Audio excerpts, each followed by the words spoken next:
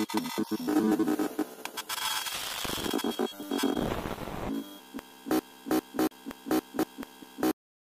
huge honour, and obviously, um, when you get the call to play for your country, you're going to give everything you have.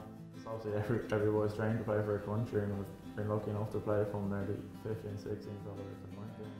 Get into the 21 squad and then play as well as I know I can. feel a bit of pressure on me there because I have to prove a lot of people wrong.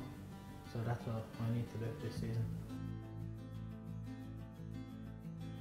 We won the league tw- two years in a row now. We're going for a triple this year. Like um, so, last year we won the league and the cup, and obviously captaining the, the side to both them was was a massive achievement, and I was very happy to do so. Obviously for such a big club as well, and obviously to do it in Tallaght Stadium against Rovers was was uh, very sweet as well.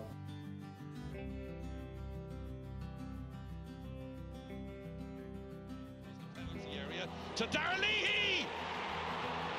Would you believe it? It's taken a while to adapt to the league because get up to speed with things, but uh, it is a very tough league. People take it for granted, I think, but I've loved it now since I've come back and I had a decent season last year.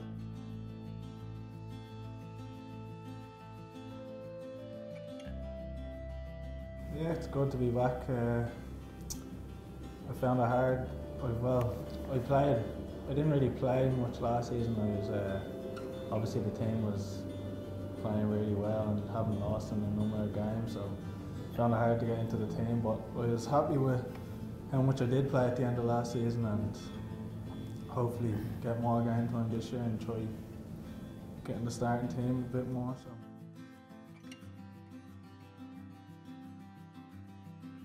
You notice the speed of the game over here is actually bit quick, quicker than I expected. So yeah, I'm used to that. So yeah, it's good. Get going, yeah. especially playing the Rovers, the Rovers games. I heard that very interesting. So I'm looking forward to that one especially. But I can't wait to get going now.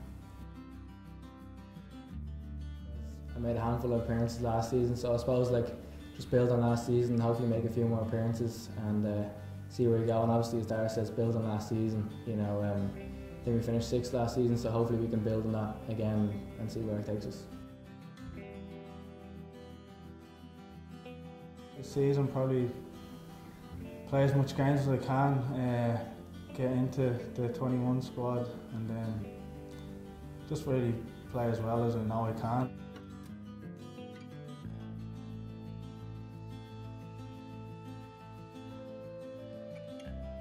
Obviously every, every boy's trying to play for a country, and we've been lucky enough to play from maybe 15, 16 all the way up to 19s. And when I found out I was in this, I was delighted, obviously, and just want to be consistent, as you said, and keep keep going.